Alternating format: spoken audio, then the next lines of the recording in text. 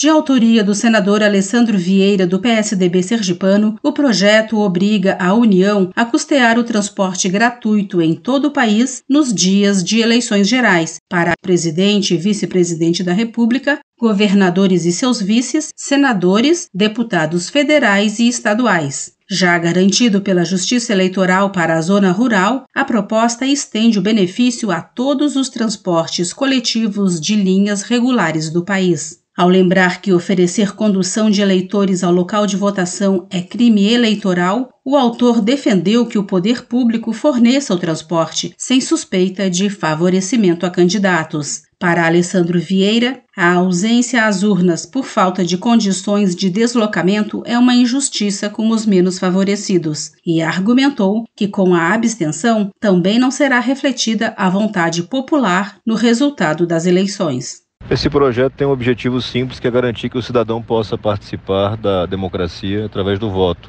A garantia custeada pela União do transporte gratuito vai permitir que as pessoas de menor condição possam participar livremente. É a democracia sendo reforçada. O índice de abstenção nas eleições deste ano foi em torno de 20% em cada turno, ou seja, cerca de 25 milhões de eleitores não votaram. Considerando o valor médio das passagens, a gratuidade nos transportes públicos este ano teria um custo aproximado de 233 milhões de reais. Essa despesa, sugere Alessandro Vieira, poderá ser custeada com a redução de gastos tributários em setores não essenciais. A proposta ainda será discutida e votada nas comissões temáticas.